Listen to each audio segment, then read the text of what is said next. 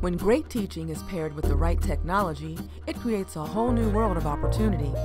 But today's digital divide creates barriers for some students while it accelerates learning for others. The problem is much bigger than unequal access to technology. It's about unequal opportunities to learn. Together, we can do something about it.